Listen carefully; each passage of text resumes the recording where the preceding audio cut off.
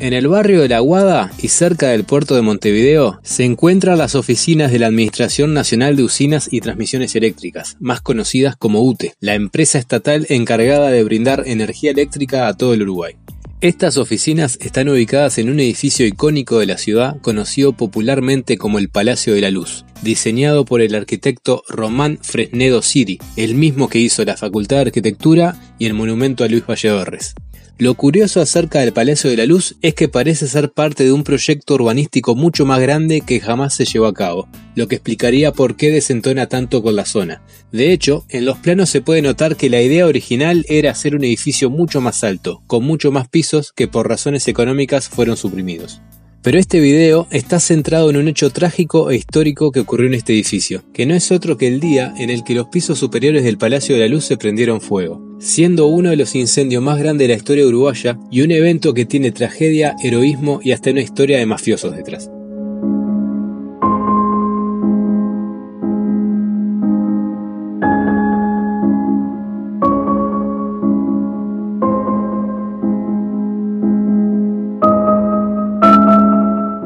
Aquello era impresionante. No hay palabras para expresar la terrible situación vivida en la madrugada de hoy en el Palacio de la Luz. La alarma sonó a las tres y cuarto de la madrugada en la guardia del cuartel centenario de bomberos. Hasta entonces era una madrugada más en Montevideo. Y era como una antorcha enorme aquello que ocupaba una manzana ardiendo en tres pisos, que no fue un fuego común y que pocas veces habíamos visto. Sobre las 4 de la mañana, esta era la situación aquí en el Palacio de la Luz. La situación es poco menos que inenarrable. Las imágenes Raúl Ortiz son más que elocuentes. El fuego está devorando los últimos tres pisos del Palacio de la Luz mientras caen trozos de pared y el vidrio está llenando las calles. Este viernes 13, amigos, habrá de quedar seguramente, como ningún otro, en la retina y en la memoria de todos los uruguayos. Ese viernes 13 de agosto de 1993 era una noche rutinaria en el edificio. La gente trabajaba normalmente. Y las horas previas fueron este, normales. Un día cualquiera de trabajo. En la UTE trabajan funcionarios las 24 horas del día. El día antes había sido mi cumpleaños. Y, y el jefe me había dicho el día antes, podés faltar si querés. ¿En qué sección trabajabas? Sistemas, en el centro de procesamiento de datos. ¿En qué piso? En el décimo.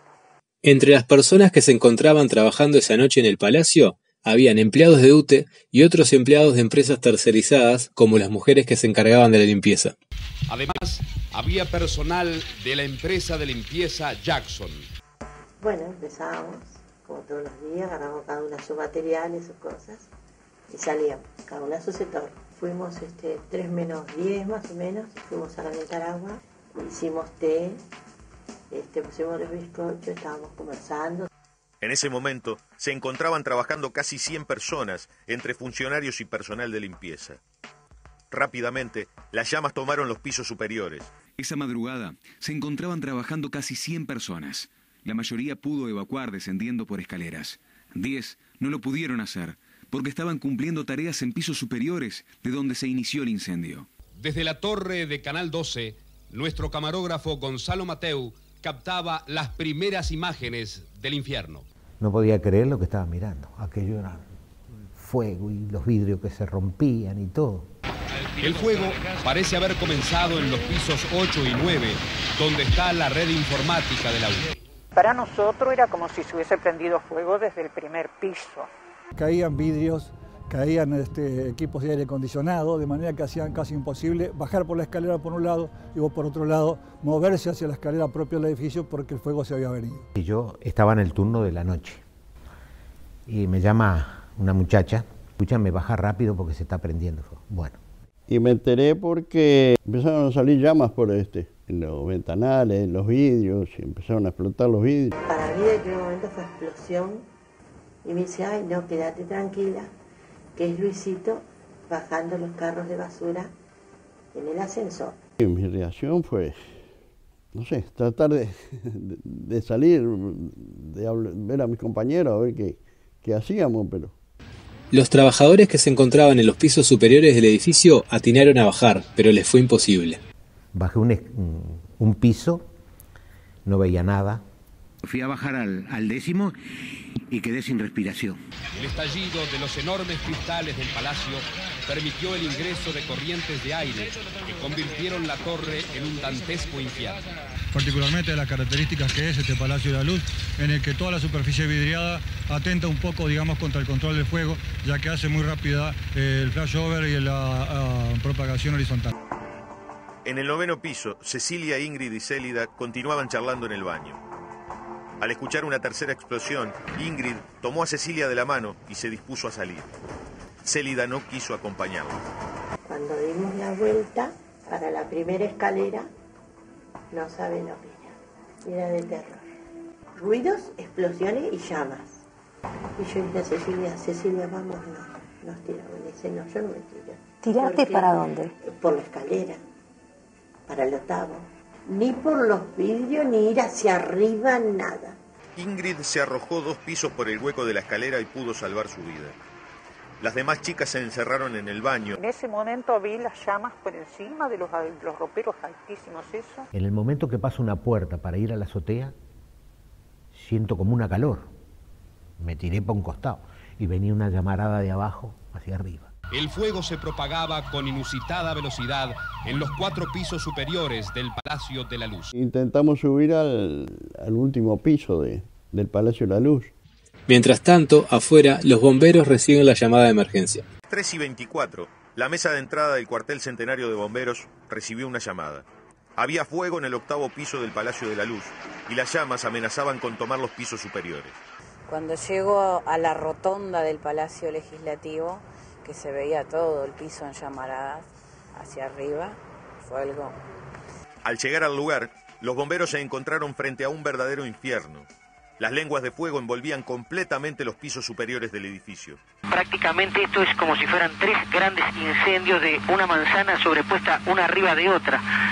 Fue como si en 20 minutos se hubiera prendido en fuego cuatro manzanas. Y mientras los bomberos se dirigían al lugar, otro bombero, Walter Alzugaray, estaba terminando su jornada como taxista. Estaba trabajando en el taxímetro y tenía que lavar el coche para entregarlo limpio el otro día. Entonces empecé a buscar un lavadero para, para poder lavarlo. Y ahí veo pasar el Falcon amarillo de Albornoz, que era el jefe de cuerpo en ese momento. Y lo seguí. A medida que pasaba el tiempo, las personas que lograban escapar se agrupaban en la calle. Quienes lograban escapar insistían en que había personas atrapadas. Al ver que no podían bajar por el fuego y el humo, cinco personas decidieron dirigirse a la azotea del edificio. La situación crece aún más en dramatismo. En la azotea del Palacio de la Luz habrían, primariamente sabemos, entre 8 y 9 personas que se vieron atrapadas por el fuego. Y yo digo, ¿y ahora qué hago? ¿Qué hago? Buscando la vuelta, me voy para la azotea. Le digo, bueno, si esto viene mal, al irme a la azotea tenía los tanques de agua. Y de repente siento unas conversaciones, me asomo por la azotea y habían cuatro, eran tres compañeros de UTE y uno que vino a hacer un, mecánico que vino a arreglar una máquina. Uno intentó tirarse y yo le grité, no te tires, espera lo último. Para tirarse hay que esperar a lo último. Si te tira ahora, la, la. Acá hay dos cosas. O la antena, que yo le tenía miedo porque había subido, y el viento la sacudía mucho, digo, bueno, muero abrazado a la antena, ¿qué voy a hacer? Y si no estaban los, los tanques de agua que abastecían todo el palacio. Nos habían llamado por los megáfonos anteriormente y nos habían dicho que abrieran los grifos. Se pudieron abrir los grifos de atrás. Todavía nosotros contentísimos porque tenés una cela, se te seca todo. ¿Y qué? Si aquello era un agua con un hollín caliente, todo negro, intomable. Mientras tanto, el personal de limpieza seguía en el piso 9. Cuando subíamos o intentábamos subir a la azotea, nosotros sentíamos gritos y, y voces de pisos anteriores que eran, eran las muchachas de la limpieza. Intentaron bajar, ahí sentimos las, las señoras que limpiaban que estaban abajo llamando. Y, este, y entonces les gritaron, y le gritamos todos que subieran, que para arriba nosotros no veíamos humo, que vinieran para arriba. El fuego subía por las escaleras, arrasando todo a su paso. El estruendo de los vidrios que estallaban apagaba los gritos de las cinco mujeres atrapadas en el noveno. Los bomberos, ya en el lugar, comenzaban a notar que el rescate iba a ser complicado. No podemos subir por cuanto las, las únicas vías internas de, para poder subir, que son las escaleras, están impedidas por el calor y los gases calientes. Las autoridades actuantes avisan que es necesaria la presencia de helicópteros que llegan finalmente pasadas las 5 de la mañana. Eran unas turbonadas de humo impresionantes. Los rescatistas sabían que el riesgo era muy grande. Prácticamente no había posibilidades, pero esa era la única salida. No existía en el país precedente de un rescate de estas características. Un helicóptero de la Fuerza Aérea, con su personal y bomberos sujetados de una linga, fueron los que tuvieron la responsabilidad de bajar a las cinco personas que lograron salir hasta la azotea. Hace 25 años no había un protocolo de emergencia ante un incendio en el Palacio de la Luz. Tampoco había un helipuerto, que sí se construyó años después de esa tragedia. Un helipuerto hubiese hecho mucho más fácil las tareas de rescate aquella madrugada del 13 de agosto de 1993. Mirábamos para abajo, veíamos que había gente y ambulancias, y... pero no, no, no veíamos la forma de, de cómo nos podían sacar de ahí. No quedaba otra opción que usar un helicóptero para rescatar a las personas que estaban en la azotea, maniobra que sería extremadamente riesgosa. A las 4.04, el capitán aviador Jorge Jackson recibió una llamada en su casa informándole del incendio. Inmediatamente reunió a sus hombres y abordaron un helicóptero UH-1H de la Fuerza Aérea. Yo fui quien recibió la primera llamada en el Centro Coordinador de Rescate. La primera reacción fue automática, eh, tratar de recabar algún dato y tratar de eh, ver qué, pos qué posibles necesidades de equipamiento íbamos a tener en el cumplimiento de esa misión. No sabíamos si que el número que era, pero ya enseguida nos alertaron de que había bajado un núcleo de personas del grupo de limpieza, de una empresa de limpieza, pero que habían quedado algunos que no se habían animado a bajar por las escaleras. Entonces eh, no sabíamos cuántos en realidad había en la azotea. Sí, cuando llegué, alguien que no recuerdo quién me decía que en la azotea había personas, pero decían que habían tres, que habían cinco, que habían diez, que habían veinte. En un principio nos habían dicho alrededor de 25 a 30. Era imposible a esa hora llevar a cabo ninguna tarea de rescate había mucha aire, este, convección de aire caliente y humo, con lo cual era totalmente imprecisa la posibilidad de subir con el helicóptero a bajar en la azotea y por otro lado eh, la cantidad de temperatura tampoco sea sustentable la posibilidad del aparato. El problema de la ingesta de humo es la falta de oxígeno en ese lugar, en, en ese aire que se está respirando el motor, le falta oxígeno, por lo tanto eh, los motores pueden llegar a apagarse. Los únicos dos casos anteriores en el mundo de rescate o de intento de rescate sobre incendios fueron funestos. En uno de ellos eh, el helicóptero se cayó por apagamiento de motor y causó víctimas tanto en la tripulación como en personas en, tierra. En nuestro caso estábamos conscientes de eso y bueno, tuvimos la precaución de que tratar de evitar ese problema. El helicóptero que vino pertenece a la base aérea de Carrasco. En ese momento la Fuerza Aérea contaba con pilotos, copilotos, mecánicos de vuelo, operador de grúa, pero el personal de rescate era del Ministerio del Interior, de bomberos. Cuando autorizamos la, operación, este, yo quedé abajo. Quedé abajo porque si acá pasa algo, prefiero que ese helicóptero se me caiga en la cabeza porque después afrontar todo lo que podía pasar. En un improvisado helipuerto, en las cercanías del Palacio de la Luz, se sumaron a la tripulación el subcomisario Walter Alzugaray y el bombero de primera Carlos Caravaca. El rescate, que se suponía difícil, era casi imposible. Era, era mucho humo y se dificultaba mucho la, la visibilidad de la azotea. Y tenía muchas antenas también, lo cual era muy riesgoso para la tripulación y para el helicóptero. Un millón de antenas, cable, esto se engancha acá, puede pasar cualquier cosa había que hacerlo. Los pilotos del helicóptero eran el capitán Jorge Jackson y el teniente primero Bernardo Recoba, los cabos Luis Curcho y José Vilarrueta, que operaban la grúa y los equipos de auxilio, y dos bomberos, el subcomisario Walter Alzugaray y el bombero primero Carlos Caravaca, que fueron quienes descendieron a la azotea para salvar a los atrapados. Y una hora después de la llamada telefónica en sus domicilios, ellos se encontraban en la zona subiendo a los bomberos. Me gritan de, de abajo que ya venía el helicóptero. El plan consistía en bajar a los bomberos a través de un artefacto conocido como penetrador. Parecía un ancla lo que tenía, ¿viste? Cruzado ahí, cada uno en un cuestión. El penetrador que utilizamos nosotros, que es acuático, tiene un cono que es flotante y después abajo tiene tres asientos. eh, muy angostos y no tiene absolutamente ninguna seguridad, o sea, no tiene cinturón, no tiene nada para sujetarse, es simplemente sentarse ahí y sujetarse a ese vástago. Para nosotros no representa ningún peligro, el peligro puede estar para el rescatado si no tiene eh, mucho conocimiento, pero bueno, la única forma de sujetarse en ese caso es sujetarse, abrazarse uno al otro, van enfrentados con las piernas entrelazadas, cada uno le brinda seguridad al otro y a su vez se brinda seguridad a sí mismo. Se hacían las 5 de la mañana cuando las maniobras de rescate comenzaban. Cerca de las 5 de la mañana, los primeros montevideanos que madrugaban rumbo al trabajo seguramente se sorprendieron por un resplandor que se veía hacia el lado de la bahía. Pocos sabían que en el centro de ese infierno había cinco mujeres y en la azotea un grupo esperando un milagro. Ya de lejos se veía mucho fuego, humo y explosiones y vidrios que caían del edificio. A las 5 y 10 de la madrugada, el helicóptero, al mando del capitán Jackson, sobrevoló el edificio en llamas. Eh, levantamos vuelo, e hicimos un vuelo de reconocimiento, pasamos por sobre el, el incendio, vimos este, la gente que nos hacía señas. Siguió de largo. Pasaron de largo y a mí se me cayó el alma. Yo veo que se va y me gritaban que venía y dónde va. Pero el helicóptero pasó de largo porque tenía que ir a buscar a otros al puerto. Lo que se hizo fue aterrizar a un lado del, del edificio que estaba en llamas y subir a los dos bomberos.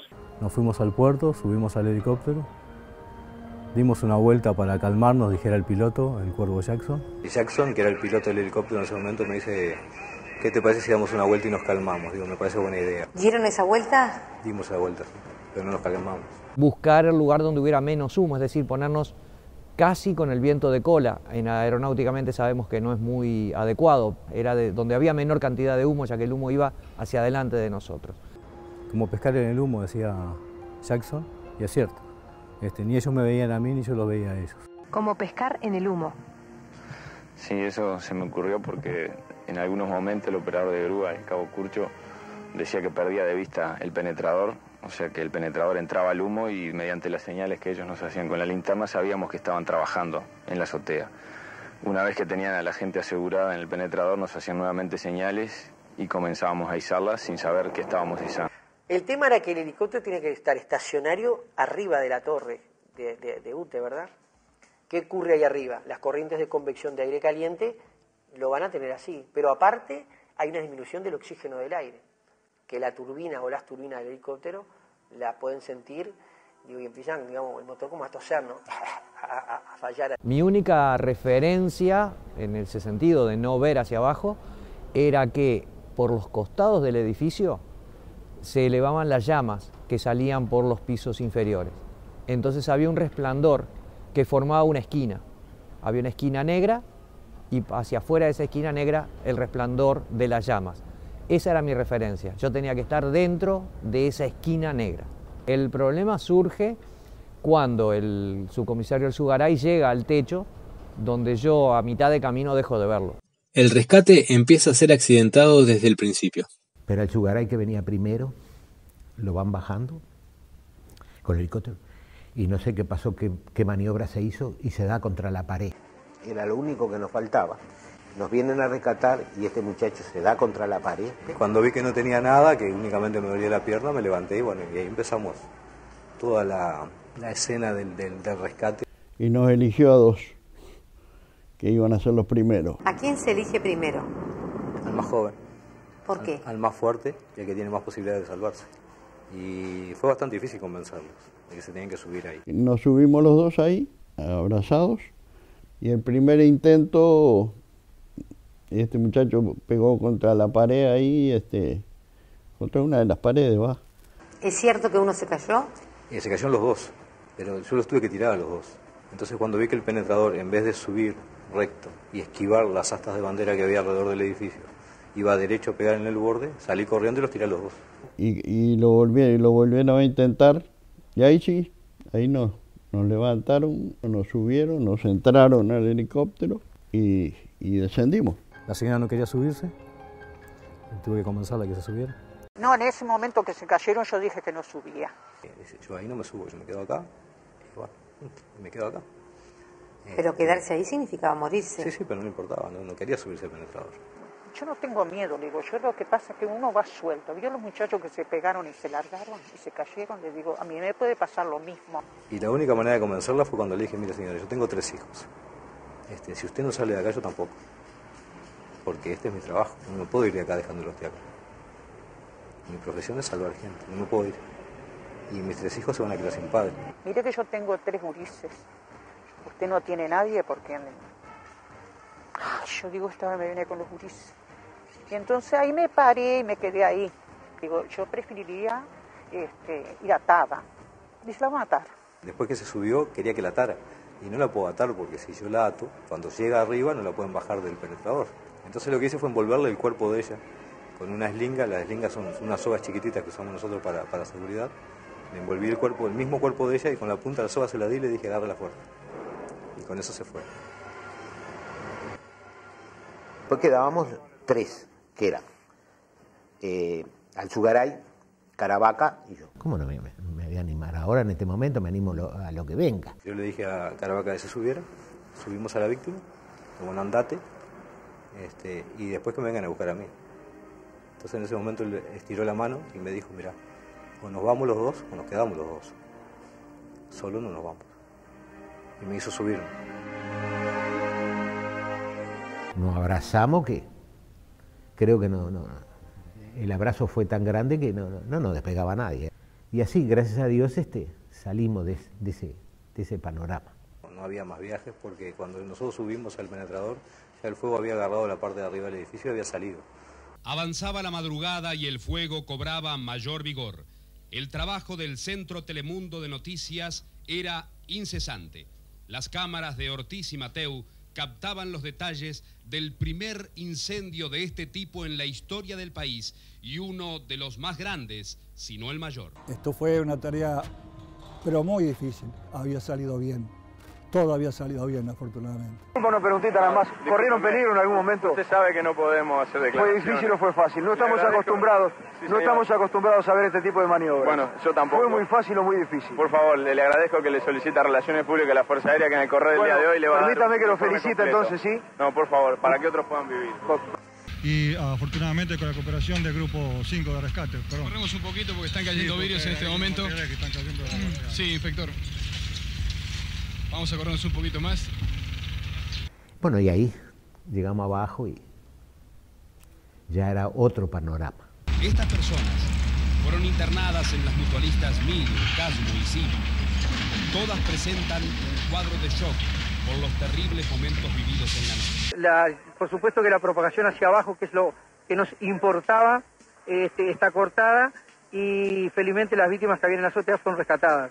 Así finalizó un rescate exitoso, dificultoso, eh, con, con bastantes contras. El viento era fuerte, cerca de 40 kilómetros por hora, la azotea no se veía. Me marcó mucho ya que la sensación de, de salvar vida como que a uno lo, lo, lo, lo marca. La misión de rescatar a las personas de la azotea había sido un éxito. Mi casa eh, era un holgorio aquello, todo el mundo en la, en- en la calle esperando que yo llegara. Y cuando yo llegué, bueno, se desbordó todo. Que la familia, amigos, vecinos, una alegría tremenda.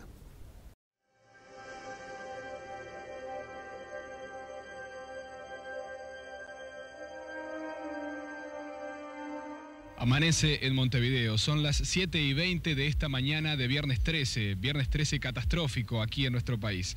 Así quedó el Palacio de la Luz. Ya no suenan los helicópteros ni las sirenas, ni se ve correr desesperadamente a los bomberos. De todas formas, y a pesar de que está el incendio ya casi extinguido, hay algunos focos que se ven desde aquí abajo en los últimos pisos del Palacio de la Luz. Cuatro plantas enteras fueron destruidas, tres por el fuego y una por el agua empleada por bomberos. El presidente de UTE, Alberto Volonté, se encontraba en Rivera cuando se conoció el incendio y se trasladó inmediatamente a Montevideo para dirigir las investigaciones sobre los motivos que ocasionaron el siniestro. Hablando por Montecarlo y Oriental, dijo hace minutos Volonté, es el día más triste de mi vida. Los bomberos continúan realizando trabajos de remoción de escombros en el Palacio de la Luz aquí en Montevideo. Varios de cuyos pisos fueron arrasados por un incendio. Los daños materiales son millonarios. La estructura principal quedó eh, aparentemente sin problemas, pero la estructura secundaria, o sea, todo lo que es reboques y falsos techos y todo eso, este, ha caído y bueno, ha formado verdaderos montones de escombros donde, debajo de los cuales hay fuego y que impide evidentemente la prosecución de las operaciones. Pero todavía faltaba saber qué había ocurrido con las cinco mujeres de la empresa de limpieza que se sabía que aún estaban en el edificio. Dominado el incendio, los bomberos pudieron ingresar a los pisos 8 y 9. El panorama que encontraron era desolador. Fuera del edificio, un grupo de trabajadores todavía esperaba encontrar a sus compañeras con vida. Otros, ya a esa altura, habían perdido toda esperanza. Encontramos las víctimas, están acá. Eh, Las encontramos después a las siete y pico de la mañana, siete y cuarto, siete y media, cuando pudimos entrar ya prácticamente. Cinco mujeres murieron carbonizadas al quedar atrapadas en el noveno piso. abrazadas entre sí. Así las encontraron los incansables bomberos, cuando horas más tarde pudieron llegar finalmente hasta los pisos donde se desató la tragedia. Todo el horror de la tragedia patentizado en el drama de los familiares que llegaban hasta el Palacio de la Luz. ¿Cómo te enteraste que tu mamá había quedado arriba? Y por instinto. Vinieron los bomberos y todo, quédate tranquilo, que ya la sacaron por helicóptero. Y yo dije, no, acá adentro yo sé que no. El humo era este, muy denso y, y tal, después empezó a comenzar el fuego. Este, atiné a, a agarrar bomberitos, extintores, este, y ta, no se encontraban extintores este, con carga. ¿Cuándo supiste que habían muerto? en el banco de seguro, porque me dijeron que ellas estaban en otros hospitales. Y una enfermera este, me di- le dijo a otra detrás de las cortinas, dice, ¿sabías que esta fue la única que se salvó las horas tanto amor? Ellas entraron a un cuarto creyendo que iban a, a parar. No había lugar allí que las protegiera. En ese momento el edificio todavía no estaba protegido desde el punto de vista estructural, o sea que las, tanto el ducto de las escaleras como el ducto de los ascensores eran chimeneas. Evidentemente no podemos subir por cuanto las, las únicas vías internas de, para poder subir, que son las escaleras, están impedidas por el calor y los gases calientes. Es una tarea que va a demandar este, muchas horas y bueno, en, en eso estamos. Entonces también se evidenció que el edificio no solo no contaba con medidas eficaces para enfrentar un incendio, sino que además no había rutas de escape. Yo sabía dónde estaba, pero no, no podía llegar. ¿Viste? No, no pude llegar. Los invitaron a, que vinieran con ellos, que bajaran, ellos bajaron, algunos bajaron rodando por la escalera para que, digamos, fuera menos la cantidad de humo y por allí poder escapar. Pero hubo cinco personas que no quisieron hacerlo. Y lejos de irse a la azotea como hicieron los otros cinco que sí estaban en la azotea, se quedaron en el piso noveno en los despachos que eran de, de la dirección. Pero era todo combustible, tanto amoblamientos como tabiques de separación y demás, era todo material combustible y todo ardió fuertemente y con lo cual estas personas quedaron lamentablemente allí fallecidas en ese piso. Era un, un tubo de, de humo por las escaleras y era imposible. Tanto que bajáramos nosotros como que subieran ellos. De nuestra parte era imposible, indudablemente. Los que podían haber ingresado eran los bomberos. Los bomberos estaban atacando desde abajo.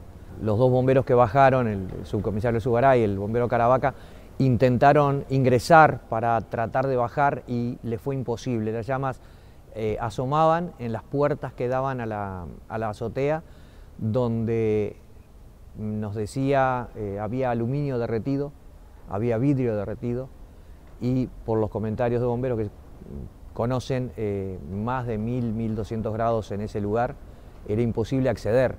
Y con un remordimiento bárbaro porque yo digo, esto se, se me va de las manos y, y no puedo llegar. Sentí como una desesperación porque no podía hacer nada, ni yo ni mis compañeros.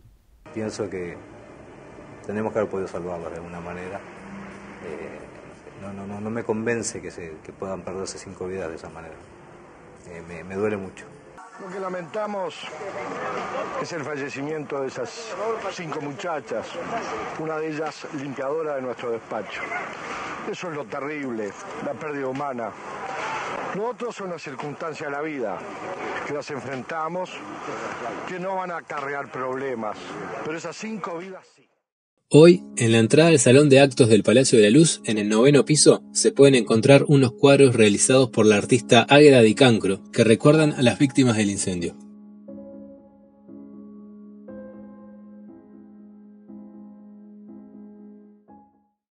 Anteriormente yo había estado con mi madre antes de antes del incendio, este, antes de, la, de las 3 de la mañana a la hora de descanso, que subí, compré en el bar de ahí de la esquina de Caraballo y Rondó, compré una porción de pizza y una lata Coca-Cola. Fue lo último que le dejé y 3 menos 5 fue la última hora que la vi.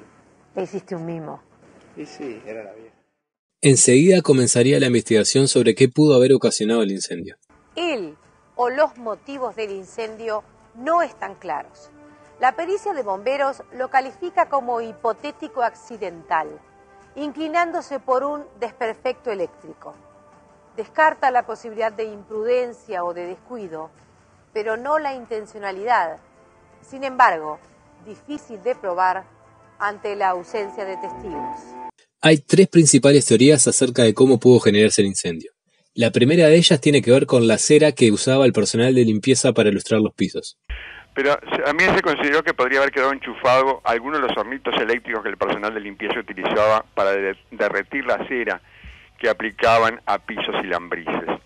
Donde habitualmente las muchachas que limpiaban trabajaban con cera, y en aquel tiempo era agosto, la cera se queda muy dura.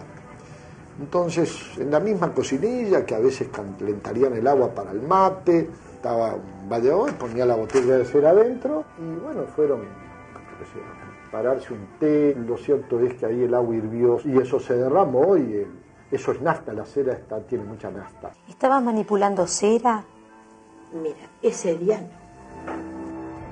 Estábamos este, preparando las máquinas para luego comenzar a, que habrán habido ah, incendios por eso, por supuesto. Pero no en este caso. No en este caso. La segunda posible explicación tiene que ver con una falla eléctrica generada en la instalación de tubos de luz en el lugar. Se trató de un sistema de eh, tubo lux donde se había bajado el nivel de los techos, eh, poseían unas impedancias compuesta principalmente por resina, elemento retardante de la temperatura, que no eh, logró su objetivo y provocó que una vez generado el cortocircuito, el calor eh, dio lugar a que se eh, tomara fuego esta resina y cayera al piso sobre moquete. Pero esta resina, al golpear en el piso, salpicaba encendida, salpicaba sobre cortinas que llegaban al piso. Eso permitió una propagación horizontal y una propagación vertical del fuego, dando lugar a que se propagara en, en todo el entorno. Ese incendio de alguna manera avisó previamente. ¿Por qué digo avisó? Porque la información recogida en el momento nos había dicho que unos meses antes, no sé si dos o tres meses antes, el mismo lugar, una impedancia de un tubo luz, se había recalentado y empezó a, emitir humo. Como estaba en un momento de, mm, que la gente estaba toda ahí trabajando, inmediatamente se percataron, llamaron mantenimiento, vino mantenimiento, ah, la impedancia, cambió la impedancia. Pasado un mes o dos, ocurre lo mismo. Entonces, arribaron a la conclusión de que la impedancia parecería que se recalentaba porque no tenía buena ventilación. Entonces, se abre una abertura arriba para ventilarla. Y eso fue, digamos, el punto donde le dio, donde oxigenó de alguna manera en un momento durante la noche en donde no había personas presentes. Los tubos luz por debajo, recuerdo que tenían una placa de, un plástico de, bajo punto de fusión, lo que hizo que el calor la fundiera y goteara el plástico con la llamita y cayera sobre elementos fácilmente combustibles, ¿no? Es decir, escritorio, computadora, papeles, todo lo que hay arriba de un escritorio. Nosotros no pudimos probar absolutamente más nada que un problema, un accidente eléctrico. Y la tercera teoría tiene que ver con mafias, asesinatos y estafas millonarias. Inmediatamente surgieron dudas que hasta hoy se mantienen acerca de una posible intencionalidad y la vinculación con un grupo mafioso que operaría desde el centro de cómputos del ente. Incluso después de retirado eh, fui citado por la justicia nuevamente porque se le vinculó a un caso de, lo voy a decir, el caso del empresario González también, el tema del incendio, Este, y la primera pregunta que me hacen es si yo tenía conocimiento o había escuchado si el incendio era, había sido intencional. El juez que investiga la muerte del empresario Luis Ernesto González sospecha un nexo entre los dos casos, una posible tentativa de estafa a UTE y al Banco Central por unos 8 millones de dólares. Diez días después de ocurrido esta tragedia, exactamente el 23 de agosto, fue secuestrado el empresario Luis Ernesto González. El 30 de agosto de 1993, siete días después, la policía sacaba el cuerpo de González del interior de un aljibe en una finca de la localidad de Cerrillos. Tenía un balazo en la cabeza. Pero seguramente ustedes se estarán preguntando dónde se une el asesinato del empresario González con el incendio del Palacio de la Luz. Sí. En febrero del 93 se intentó una estafa casi perfecta contra usted. Investigadores periodísticos del caso afirman que en el archivo que funcionaba en el octavo piso podrían haberse encontrado pruebas del ilícito. Peritajes internos del Banco Central y de UTE tienden a descartar esta hipótesis, pero no se le permitió a memoria colectiva acceder a estos documentos. Obviamente es una historia muy compleja y engorrosa como para resumirla en este video. Todo podría haber quedado olvidado, todo podría haber quedado olvidado, si no hubiera sido por lo que dijo uno de los hermanos del asesinado empresario Luis Ernesto González, quien al salir del juzgado dijo, el incendio de UTE fue intencional y estuvo vinculado al asesinato de mi hermano. Por lo tanto, el informe indicaría que el incendio se originó por una falla eléctrica, y con el correr de los años el tema se fue olvidando, pero no así para la gente que vivió la tragedia. Siempre me acuerdo de la fecha. Eso sí lo llevo siempre acá. Eso sí, no es para olvidar. Nuestra misión fue la primera y única hasta el día de hoy con éxito este, en el mundo. Los rescatistas uruguayos estaban orgullosos y con razón de las vidas salvadas. Sin embargo, sus colegas extranjeros consideraron el procedimiento más cercano a la irresponsabilidad que al heroísmo. Sí fuimos criticados en algunas oportunidades profesionalmente por el uso del helicóptero en esa situación. ¿Qué dicen en el extranjero? ¿Que fueron valientes o que fueron locos? Eh, las dos cosas. También nos deja la satisfacción del, del rescate, que en otros países había fracasado con mayor tecnología, con mejores cosas que nosotros. Tal vez no, no daría nuevamente la orden de hacerlo. Ahí Si volviera a tener que, que vivirlo, lo volvería a vivir, lo volvería a hacer de la misma manera como lo hice en ese momento. arriesgamos cosas que yo en este momento tal vez no podría estar hablando con usted si hubiera pasado algo. ¿Te quemaste? No, me lastimé. Quedaste con una lesión en la espalda. Sí, cinco vértebras aplastadas. Una pregunta que se hacen los familiares, seguramente de esas personas fallecidas, es si el directorio de UTE ya ha barajado la posibilidad de un resarcimiento o una indemnización acorde a la situación. Todo lo que sea necesario, mis queridos amigos. ¿Fuiste indemnizada? No, no, para nada. Ni visitada ni nada. Hugo, ¿te indemnizaron? ¿Los indemnizaron a ustedes por parte de la empresa? Eh, es un tema muy difícil ese, porque la gente a veces lo ve muy sencillo de afuera, y no era tan sencillo. Digo, nosotros tuvimos que pelear contra viento y marea eh, en esos años, digo, que todas las puertas se te cerraban, aguantar montones de cosas, este, insultos de todo tipo, malos tratos de todo tipo. Digo, uno siempre busca un responsable por esas acciones, pero los, los responsables no aparecen nunca. Nosotros tuvimos una pérdida que era para nosotros mucho más valiosa que un trabajo, que una indemnización económica. Hoy trabajas en UTE. Hoy trabajo en UTE. ¿Se este indemnizó a las patrón. víctimas, doctor? No nos correspondía porque no eran funcionarias de UTE. Sin embargo, la UTE resolvió no indemnizar, porque reitero, al no ser empleadas nuestras, pero sí tuvo una actitud muy generosa con todas las familias. No sabemos con certeza hasta dónde llegó la generosidad de UTE. Tanto el directorio como su expresidente y los familiares de las víctimas se negaron a dar las cifras. Algunos familiares dicen que fueron silenciados. si no había responsabilidad de UTE, ¿correspondía reparar económicamente? ¿Por qué UTE creyó conveniente hacerlo? Y con esta incógnita termina esta historia sobre el incendio edilicio más grande y trágico de Uruguay, un evento que quedó grabado en la memoria de los que lo vivieron.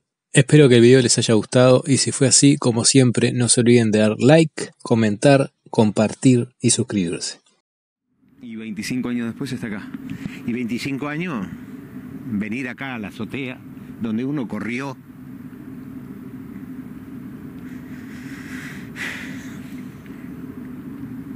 Te trae algunos recuerdos, los compañeros. Vítete. Son 25 años. Y estar acá en mi vieja casa porque esto fue mi casa durante muchos años, 38 años.